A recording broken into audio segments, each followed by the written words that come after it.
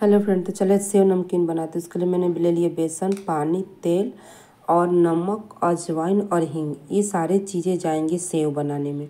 जो सेव नमकीन होता है ना वही। तो मैंने बेसन को अच्छे से छान लिया है। इसमें डालेंगे हम अजवाइन, हींग, नमक और तेल। बेसन बिना छाने कभी भी नमकीन मत बनाइएगा। ये बहुत ज़रूरी है। हर बेसन को छानना पड़ेगा। एक बात, अगर आपको मार्केट जैसा चाहिए नमकीन तो पूरी की पूरी पैकेट का ही बनाना पड़ेगा। आपको घर का, चाहे पिसाया हुआ, बेसन से नहीं। मैं नमक, में तेल भी अच्छे से मिक्स करके, मैं सारा मेज़रमेंट आपको डिस्क्रिप्शन बॉक्स में बता दूँगी। इसलिए खास खास चीज़ों को मैं डिस्क्रिप्शन बॉक्स में लिखना पसंद करती हूँ, ताकि आप गड़बड़ाए नहीं, खासकर नमकीन को। इस तरीके से आप बनाइए। अगर आपके पास झारे हैं तो झारे से बनाइए, पर मैं मशीन से दिखाऊँगी। बाकी मैं झारे से भी बताती हूँ क्लास में, न मशीन से मैं आपको दिखा रही हूँ कैसे बनता है। इसके बाद थोड़ा थोड़ा पानी डालेंगे। लगभग मैंने आधा गिलास से थोड़ी सी ज़्यादा मैंने पानी लिया, ज़्यादा नहीं लिया, आधा गिलास से थोड़ी सी ज़्यादा। और इसे अच्छे से गूंद लें। क्या है ना कि बेसन है, चिपचिपी करती है पर इसे धीरे धीरे कम से कम दो से तीन मिनट गूंदना है। ये नमकीन बना के आप एयर टाइट डब्बों में एक महीने आराम से एक से डेढ़ महीने स्टोर करके रख सकते हैं। तो देखिए, मैं गूंद लेती हूँ, थोड़ा चिपचिपा हो गया, पर मैं पूरे गूंद के आपको दिखाऊँगी। और गूंदने के बाद 10 से 15 मिनट इसे ढक के रख दीजिए। इसके बाद क्या होता है ना, अच्छे से क्रिस्पी होता है तो गूंदने के बाद अब गैस पे अपना कढ़ाई चढ़ा दीजिए तेल, ताकि गर्म गर्म होते रहे, थोड़ा ये रेस्ट भी हो जाएगा। कभी भी नमकीन अगर बनाना हो तो अचानक हाई फ्लेम पर बहुत गर्म तेल ना करिए। टाइम हो अगर आपके पास तो धीरे धीरे गैस को फ्लेम तेज करते जाइए, फिर गर्म करिए तेल। ये एक और ख़ास टिप्स होता है। इसके बाद मार्केट में सबके घर ही होता है मशीन जिससे नमकीन बनाया जाता है, सेव नमकीन बना, इसी मशीन से मैं सारे नमकीन आपको बना कर दिखाऊँगी। ये मोटी वाली जाली है, जिससे मैं बना रही हूँ सेव नमकीन की। और हाँ ये नमकीन मैं ज़्यादा बनाऊँगी, क्योंकि सारे नमकीन को मिला के मैं खट्टा मीठा नमकीन, तीखा नमकीन और फरसन, बहुत से नमकीन बनाऊँगी, इसलिए सारे नमकीन में ज़्यादा ज़्यादा बना रही हूँ। तो आपके लिए मैं सेव से चालू करी हूँ। मैं मशीन के अंदर तेल लगा दी, उसके ऊपर जितना उसमें जाएगा उतने में डाल दी और मेरा तेल गर्म है ऑलरेडी कभी भी जो मशीन है ना मैं दिखा, इसमें तेल लगा के ही डालिए तो सबसे अच्छा रहेगा। और मैं सारे नमकीन रखते जाऊँगी और आपको अंत में फरसन बना के दिखाऊँगी। आप भी यूट्यूब पे बहुत से रेसिपी देखें। एक रेसिपी मेरे फॉलो करिए, फिर बताइए कि मेरे रेसिपी में क्या ऐसी खास है। मैंने थोड़ा सा यहाँ नमकीन का डाल के बेटर चेक किया तो अच्छा सा गर्म हो गया है। इसके बाद मैं डालूँगी। बगल में मैंने जाली रख दिया पहले से। जाली के नीचे एक प्लेट रख दी, ताकि एक्स्ट्रा तेल निकल जाएगा। इसके बाद आप डालते जाइए नमकीन। और मैं क्लास में मशीन और झारे दोनों से दिखाते आपके पास झारे हो तो झारे से बनाइए, ये मशीन हो तो मशीन से बनाइए। इसके बाद जितना है मतलब ज़्यादा नहीं भरना है, उतना ही भरी जितने में अच्छे से पक जाए। ज़्यादा भरने से क्या होता है ना, अच्छे से बनता भी नहीं और कच्चा रह जाता है, कहीं जल जाता है, कहीं कच्चा रह जाता है। मेरा तेल अच्छे से गर्म था, इतना भी नहीं कि धुआँ निकले, पर अच्छे से गर्म था। इसके बाद मेरी गैस का फ्लेम फ़िलहाल है मीडियम और हाई के बीच।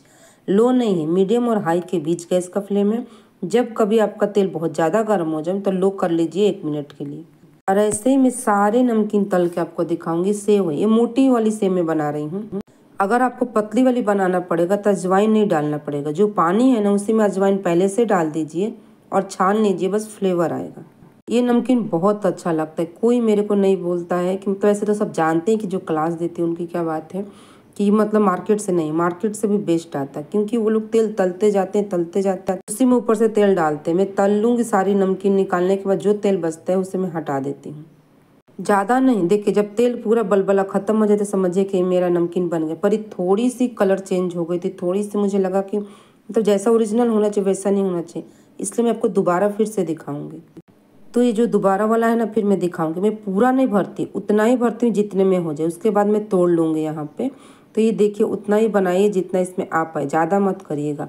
और अगर आपका हाथ जले ना तो उस समय गैस का फ्लेम लो कर दीजिए, पर जैसे ही आप नमकीन डाल दें, तुरंत गैस का फ्लेम थोड़ा सा बढ़ा दीजिए। आप ये नमकीन बनाइएगा, पर इसमें से बचा के रखिएगा। जो जो मैं नमकीन दिखाऊँगी, सबसे बचाइए। मैं अभी गाठिया दिखाऊँगी, रतलामी दिखाऊँगी, पापड़ी दिखाऊँगी, सब। पर सब नमकीन हम थोड़ा थोड़ा रखिएगा। मैं बाद में उस सबको नमकीन को मिक्स करके एक नमकीन बनाऊँगी। खट्टा नहीं, मीठा बनाऊँगी कॉर्नफ्लेक्स वाला बनाऊँगी मतलब बहुत से नमकीन में बनाऊँगी, पर आप एक बार इसे ट्राई करिए। एक अगर पहले बार आए हैं मेरे चैनल पर तो एक वीडियो मेरी नमकीन का ट्राई करिए रेसिपी सॉरी और फिर आप खुद बोलेंगे कि हाँ मेरे रेसिपी में क्या ऐसी खास है। और टिप्स तो यहाँ भर भर के मिलता है। इसके बाद देखिए, पहचानने का नमकीन में अपने अनुभव से बात हो, पूरी बलबले जब बैठ जाती है नमकीन ख़त्म हो गया तो ये होता ओरिजिनल कलर। पहले वाला जो मेरा था ना मतलब मेरा तेल ज़्यादा गर्म हो गया मैं चाहती तो उस वीडियो को स्किप कर सकती थी। पर मुझे आपकी, अपनी गलतियाँ भी मुझे आपको दिखाना था तो इसलिए मैंने आपको अपनी गलतियाँ भी दिखा दिया। और देखिए, ये कलर होता ओरिजिनल ऐसे ही आएगा, कलर बस तुरंत हटा देना है। ज़्यादा जलाना नहीं है। पूरी बुलबुलें बैठ गई तो मतलब ये मेरी नमकीन बन के रेडी हो गई है। और ये मैं पूरी नमकीन तल के आपको दिखाऊँगी, पर मैं ज़्यादा बनाई हूँ। मैं क्वांटिटी लिख दूँगी, फिर भी मैं साढ़े तीन सौ ग्राम बेसन नहीं हूँ। पर मैं कभी भी नमकीन बनाती हूँ तो पैकेट का ही लेती हूँ। पीसा हुआ नहीं लेती हूँ, बिल्कुल नहीं लेती हूँ, पीसा हुआ।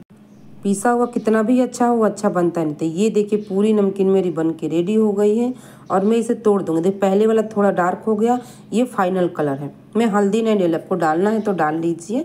तो ये देखिए, सारा नमकीन मेरा तल के रेडी हो गया। मैं इसे तोड़ लूँगी, जितना छोटा बड़ा चाहिए, इसके बाद ये फाइनल लुक देखिए इसका।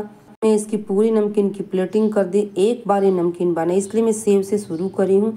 सेव दूँगी, रतलामी बनाऊँगी। मैं सारे नमकीन अब एक एक करके रोज़ डालूँगी और रात को मैं दे हो सके तो मिठाई की डालूँगी वीडियो और सुबह हो सकेगा दिन में तो मैं नमकीन की। तो फिर मिलते नए वीडियो